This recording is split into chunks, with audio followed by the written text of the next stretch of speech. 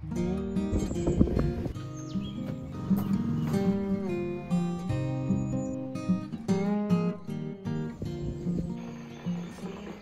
friends, welcome back. Hope you've had a good week. And if you're new, hello, you're most welcome here at my home in rural Sussex, England. This week you find me on the guest cottage veranda and we're going to be decorating, revamping, restyling this space. I love a rustic vibe and I love nothing more than a bit of upcycling, reinventing things, shopping my home, shopping the garden, and I always challenge myself to try and do a space without spending any money. So let's get into it. This is the guest cottage, which had a full renovation last year, and that included building this veranda. The floor I've made out of reclaimed scaffold boards. They're a fabulous choice for flooring because they need little to no attention whatsoever. The vintage bathtub was actually found on eBay and it was such a find because it's got this lid that comes with it and we're thinking it's around 1800s if not earlier. There is a maker's plaque on the side and originally it would have had a section underneath where you would have put wood and then burnt it in order to heat the water. But fortunately we've got modern plumbing I put the bath over where the mains drainage is and then ran hot and cold feeds out from the bathroom, which is just behind it. The plumber and I made these taps out of copper piping and bits of plumbing materials. They were originally shiny copper, but I love the way that it's aged over the year. Now here in the UK, it's quite unusual to have a veranda, a porch, you know, whatever terminology you're using, and therefore it's difficult to find porch swings. This one I found on Wayfair and it was a very dark teak, so I've just lightened it. The lantern was another of my eBay finds. It was covered in black paint and I got all that stripped back. And the dresser was actually an auction find for £50. It was covered in purple and yellow paint. It took me four days to strip it. I then gave it a distressed paint finish. I used the same product that I'd used on the outside of the cottage itself, but because of the old wood, it took the paint very differently and I just love the effect. The sofa was picked up at a charity shop for just £40 and it came with some great cushions as well. The rug was bought from Wayfair last year, so it's had four seasons now down on this veranda floor. And while I've been cleaning, I've given this a really good vacuum and it's come up beautifully. The colours have survived really well. It was such a good value rug as well. I think I only paid about 80 something pounds for it. And you can see even the underneath is beautifully clean. So let's get decorating. I'm going to hang mirrors on this wall I've got some charity shop finds to go here. I'd found these for £10 each, very dark wood frames. So I've used Annie Sloan chalk paint, a few coats of, and then just rubbed them back and hung them with very strong string, uh, thick twine. I love using mirrors outside. I love to see the reflection of the garden in them, but you've just got to be careful as to the angle because you don't want to cause any fires. Now I'm happy with these three mirrors this side of the door. On the other side, I've got this blank wall and I have a cunning plan. I picked up this oak panel at auction several years ago and I think it's actually the bed head of a single bed. I originally painted it up in white and grey chalk paint, distressed it slightly, thinking that when I'd done the renovations on the main house, I would use it in one of the bedrooms and create a bed from it. But it's never found its way into the house. So now I'm going to distress it way back and bring out lots of that glorious wood grain. This is oak, it's beautiful. So as you can see here, as I'm rubbing further back, you can see more and more of this wood coming out. And this heavily chipped finish is right up my street at the moment. This is way too heavy for me to attempt to hang on the wall of the veranda. So I'm thinking of actually putting it on the floor. It's then got a shelf and then sitting this mirror that I found at a charity shop for just 20 pounds. Unbelievable value. And sitting that on top of the shelf. it's got a really bad finish on it. So I'm just going to go straight over this with Annie Sloan chalk paint. And it's going to be in my all-time favourite colour, Old White. The only prep I'm giving the mirror is a really good clean. I've then roughly gone over it with two to three coats of the Old White. That's going to get smoothed down as I go over and do the distressing. After distressing, I use a blade to take the chalk paint off the mirror. And here are the two sat together. I think they're going to work a treat. So let's get those over to the veranda. Hubby's helped me carry them over because they are really quite heavy, quite awkward. And he's told me to wait until he's free. Yeah, right. You'll recognise these brackets if you saw my five mirrors, five ways video. I salvaged them from a mirror I was upcycling. So I'm going to go with one bracket in the middle there just to hold that. What are we calling this piece? The carved panel against the wall because all the weight of it is going to be on the deck. And it's really there just to stop it toppling forward. So once I've shuffled that into position, I'm just going to use a self-driving screw straight in, super solid, that's not going anywhere.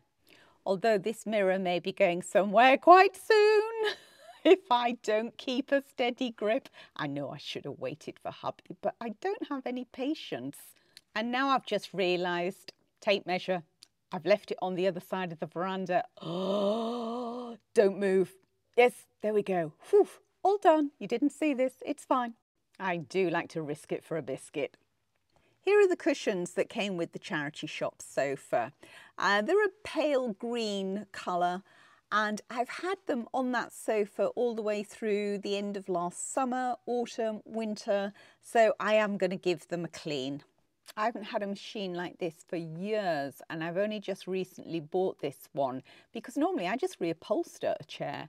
So my technique may be somewhat lacking, but as you can see, I am getting dirt out. So I'm going to push on and uh, keep giving it a good clean. But any tips you can give me on using these, please do. Now I just wanted to show you this that I picked up from my charity shop that I always go to that I love to support. 40 pounds for this whole set. There was just a little bit of the cane coming away, so I've got clamps out and some glue on that. But the cushions are so clean, they're neutral, they are unbelievably comfy. The only thing I don't like are the back cushions. They just look a little bit old-fashioned to me. But when you take them off, how stylish does that become? Put some lovely big fluffy pillows on there, they'll be fabulous. But what to do with those back cushions? Now you know I hate waste. I have a plan. I'm going to use them as seat cushions on my other cane furniture. This set on the house veranda is in need of a, another spruce up. So I think I'm going to take that off there and I'm going to use those on the cottage veranda. I got these two chairs and a table for, I think it was 23 pounds several years ago. And I put a white paint on them and then I've just let them weather. Now I'm sanding them down. I'm going to give them a good wash just to take off any flaky paint before I take them to their new home. Now I don't think I quite like them on the angle. I think they're going to go straight and face each other. I'm making a coffee table out of potato chitting trays. I bought a job lot of these many years ago. So you'll see them in lots of my videos in various guises. The cushions have dried in the sun, so I'm going to protect them with some Scotchgard fabric spray. The old metal chair supports tend to leave an imprint, a pattern on the fabric of cushions. So I'm using a piece of cardboard between them and the cushion just so I can keep rotating the cushion and there's no marks on it. As it's quite a warm, sunny, windy day, the Scotchgard has dried very quickly. Can't have a porch without a rocking chair and this rocking chair is really quite special to me. It was a present from hubby when our son was born by caesarean section 26 years ago. I've got some vintage containers that I want to use on here. Now this is made of copper, it's like a copper bin. Again, it was really shiny years ago, but I actually love it when it weathers down. This is an old enamel bread bin, part of an auction job lot, and I've used the lid to make a light shade in the bedroom of the cottage. This old galvanised tub is watertight and I found it here when we first moved in. The giant ruler pinned to the wall is going to be a measuring stick for grandchildren if I'm ever blessed with them. It was my mother-in-law's. So the structure is done now onto the pretty things. I love a wooden crate. I have so many of them and I find them so versatile for styling. The faux summer flowers that I've popped in here came from Home Sense some years ago and just brighten up this area. I'm often asked why I have a dresser, a hutch outside, and my response generally is why not? It's got an exterior product on it to protect it, and with all those shells, it's a wonderful opportunity for styling for using all those auction finds that I have, things that I wouldn't necessarily have in the house or it gives me an opportunity to pull together colours that, for example, here I'm using green, I'm using the woody tones, the rustic tones. Um, it's a great opportunity to get all these things out on display rather than gathering dust in my storage unit.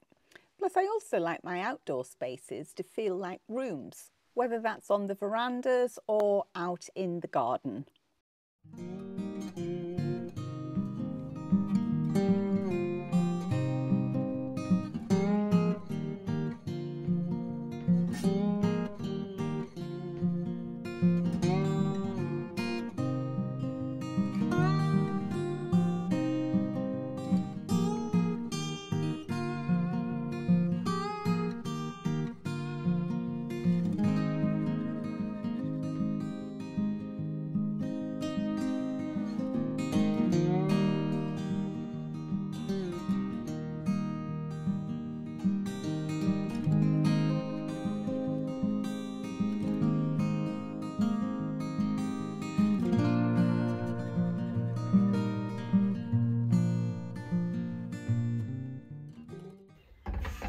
Table I'm using an old metal tray and some plants that I've just potted up from the garden. The vase will be filled with greenery and then I'm putting out some books on birds and wildflowers.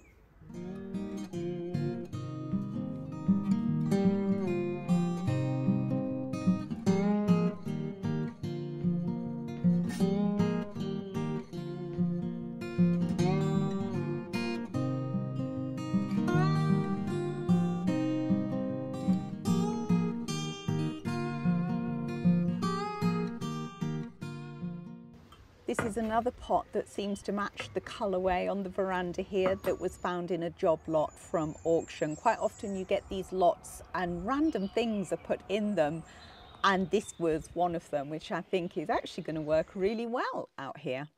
I'm so pleased with how this has actually turned out but the shelf is really quite narrow so I'm really having to style with purpose here so I'm finding the narrowest candlesticks and pots that I can.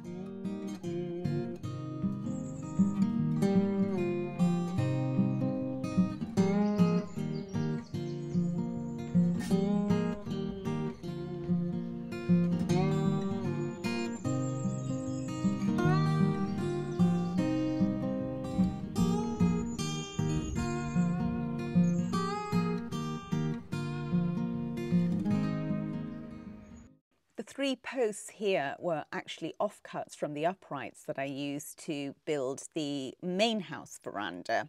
Again, the pots that I'm using here are going to get water into them and then I'm going to use clippings from the garden.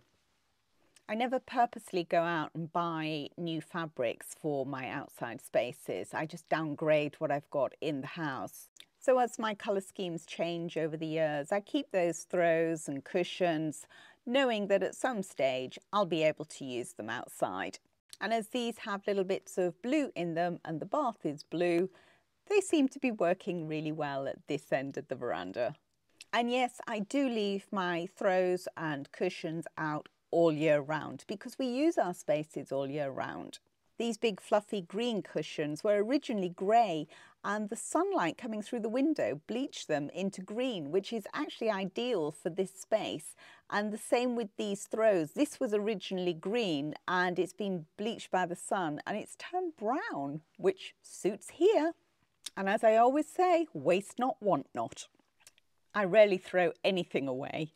Now, as necessary as plugs are, be it indoor or outdoor, I really think they're ugly. So I'm going to use an old crate over this. So it's very easy to access. You just lift it out of the way and the door still opens back and the little cabin hook works. So it's practical.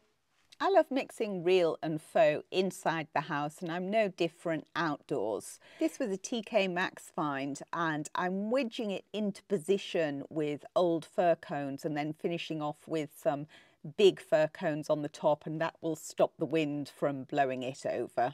Although I don't know if it'll stay in this position, I need to bring the fresh greenery onto the veranda just to see whether or not it's going to work there. But before I do that, I'm going to fill up all the vessels with water and then go and get some cuttings. My go-to every time for fresh greenery is Leylandii. And at this time of the year, we have an abundance of cow parsley. The hedgerows are full of it. Leylandii is so great to use in this way because it holds water so well and will last a good two to three months.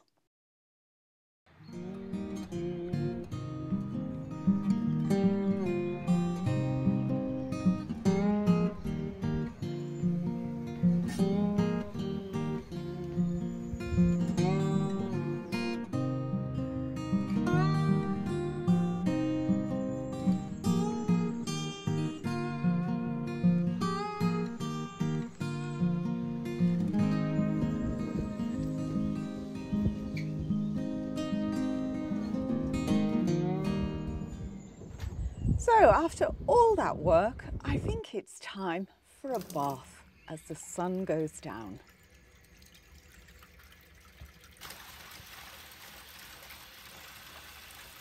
And of course, it's going to be some gin and tonic bubbles.